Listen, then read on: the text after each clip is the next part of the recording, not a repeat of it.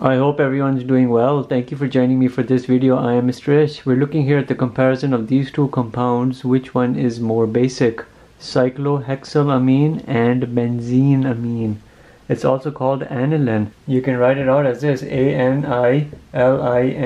aniline. This right here, benzeneamine, this E is optional. Some books you'll remove it and some books you'll have it, but it'll be attached to that word, benzeneamine that E in some areas you'll see it, in some areas you won't see it, but it's also called aniline. Which of these two is more basic? Consider this, if you're looking here at a amine group or NH2, this is your amine group, if you were to look at it in the presence of a water, if you can protonate this and make it RNH3+, plus, the ease by which this is protonated will indicate or give an indication of how basic this is. If this is easily protonated to give you an ammonium ion, then it's quite basic. If it's difficult, if there's a difficulty in protonating this amine here, your organic amine, and it's difficult to do this and generate this, then it's less basic and it's slightly more acidic or maybe neutral. The ease by which this reaction can occur is an indication of the basicity of that compound you're looking at. Back to the question, which of these is more basic, cyclohexylamine or benzeneamine, you can look at it in two ways. Number one, the hybridization of carbon. And which carbon are we talking about? Right here. This carbon right here and this carbon right here. When you look at the cyclohexylamine, what type of carbon do you have?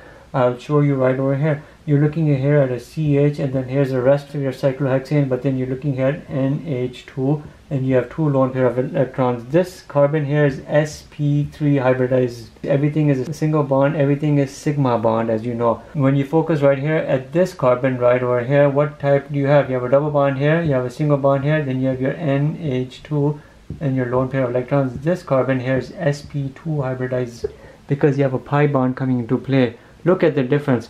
An sp3 carbon versus an sp2. Here you're looking at an sp3 carbon. Here you have an sp2 so what you have to remember is this very important fact and I'll list it out for you. Your fact you want to remember is this. The sp2 carbon is more electron withdrawing than sp3 what does that mean? It's giving you an indication of electronegativity. This carbon over here which is sp2 is electronegative compared to this sp3 carbon. Therefore you're looking at a a dipole in the direction of the carbon. Here you're looking at a dipole in the direction away from carbon.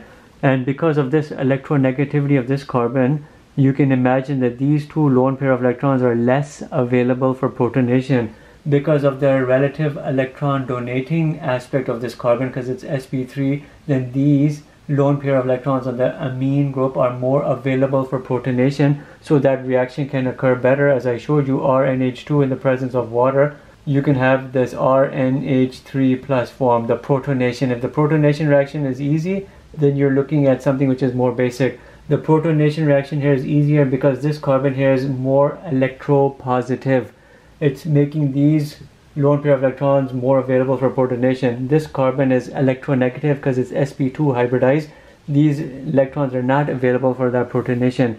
Then you can by extension consider this very important fact and I'll put it out for you though it's not relevant to this but keep this, the sp carbon would be more acidic than an sp2 carbon, which would be more acidic than an sp3. You know you'll see this in something with a triple bond. When you're looking here at an acetylene where you have HC, triple bond C, then C, let's put here NH2, an amino group.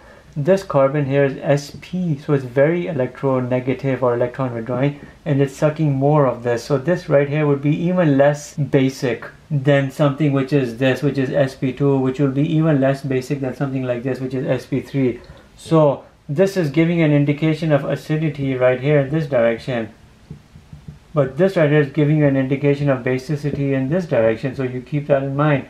A nitrogen or an amino group attached to an sp3 carbon is more available or more able to donate its lone pair of electrons for protonation therefore it's more basic. You're looking at basicity in this direction you're looking at acidity in this direction. So this was point number one. Point number two will bring us to an end. Look at the difference between these two molecules right here. You have a cyclohexane here you have a benzene where you have a bunch of sp2 hybridized carbons and you know you have pi clouds of electrons. Here you don't have anything like that. You can have resonance stabilization here you don't have here you can have delocalization of electrons, here you don't because there's no such thing as resonance going on over here. when you have a resonance stabilization and let's make it clear effect you will lose out on the ability to make your lone pair of electrons available for protonation. The rule you want to remember is this. Due to resonance stabilization effect and the presence of these sp2 hybridized orbitals, pi cloud of electrons,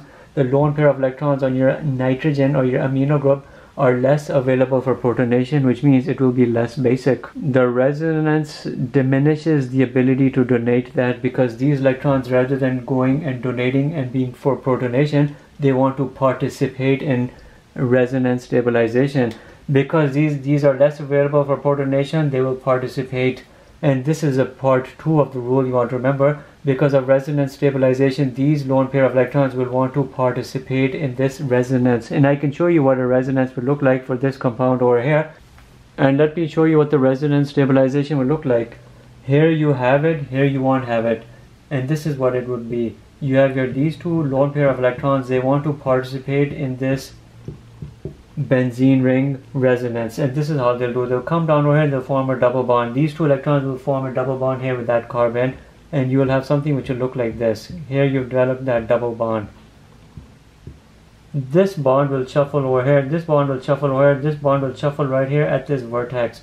So this double bond over here will now come over here, this double bond over here will come over here, and what was this double bond over here? It will generate a negative charge over here, but by virtue of the double bond here, you'll have a positive charge over here. And you see you have a neutral compound here, you have a neutral compound here, but you've got resonance stabilization. These electrons have now participated in resonance so they're not available for protonation so they cannot be involved in basic reactions. They are involving themselves in the molecule in terms of delocalization delocalization of electrons in terms of resonance. These two electrons which are lone and available have become part of your resonance system and they're no longer available for basic reactions which of these is more basic this right here is more basic sp3 carbon, no resonance stabilization. These electrons are available for interaction in terms of basic reactions and they can be involved in protonation as you can see right over here. These electrons here are going to participate in resonance and you have an sp2 carbon which is relatively negative and it's sucking the electron density towards itself. And that right there is the end of this video. Thank you.